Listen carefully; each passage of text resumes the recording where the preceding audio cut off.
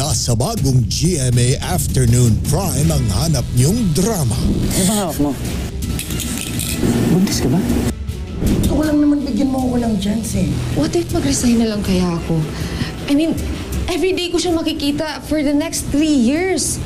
Ang awkward nun. Ano ginagawa niyo? Ano, Bea? Lalaban ka pa ba? Wala ka nang hahanapin pa dito sa GMA Afternoon Prime.